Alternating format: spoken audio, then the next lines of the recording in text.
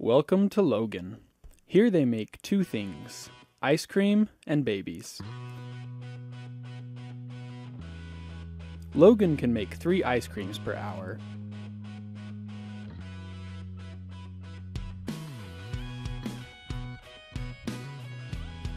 But Logan can only make one baby per hour.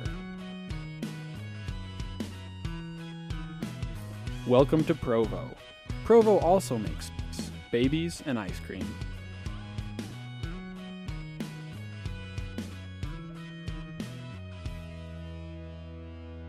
Provo can make two babies an hour.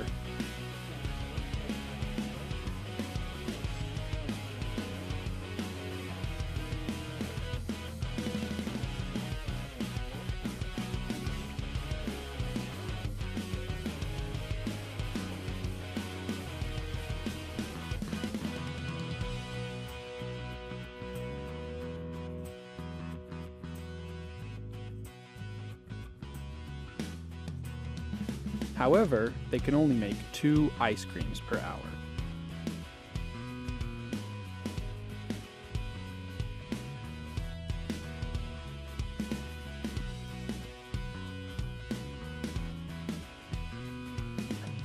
In the time it takes Logan to make one baby, they miss out on making three ice creams. That is, the cost of making one baby is three ice creams. Since Provo can make two babies or two ice creams an hour, their cost is one ice cream to one baby. Thus, Provo has the comparative advantage in making babies, because their cost in terms of ice cream is lower. And Logan has the comparative advantage in making ice cream, because their cost in terms of babies is lower. Now let's say that Logan and Provo each have 10 hours to produce either babies or ice cream. First, let's see what happens when they each devote 5 hours to each activity. Provo will produce 10 babies and 10 ice creams in the 10 hours. Logan will produce 5 babies and 15 ice creams.